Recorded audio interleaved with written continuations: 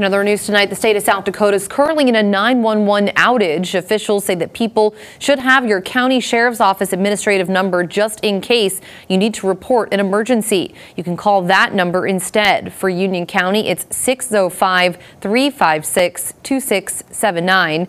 For Clay County, 605-677-7100. And for Yankton County, that's 605-668 5210. Texting 911 does still go through, so you can do that. We will keep you updated as we get more information. All of those phone numbers are on our website.